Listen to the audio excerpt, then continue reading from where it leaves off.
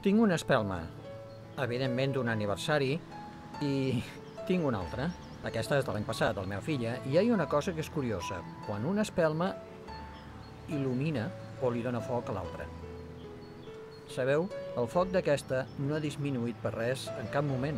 El fet de compartir foc d'una espelma amb l'altra, de compartir llum amb l'altra, no fa que la primera es vegi perjudicada. M'he sentit parlar moltes vegades del text bíblic Sou la llum del món. Sabeu, quan Jesús va dir això no existia la llum elèctrica, existien les llànties d'oli, com les espelmes. I ser la llum no és sols il·luminar els altres perquè vegin, sinó també és compartir foc, compartir llum, compartir coneixement, ajudar l'altre perquè també pugui ser llum en el món. És curiós, perquè va molt més enllà del que pensàvem. No perds res per compartir amb els demés el que tens, el que saps.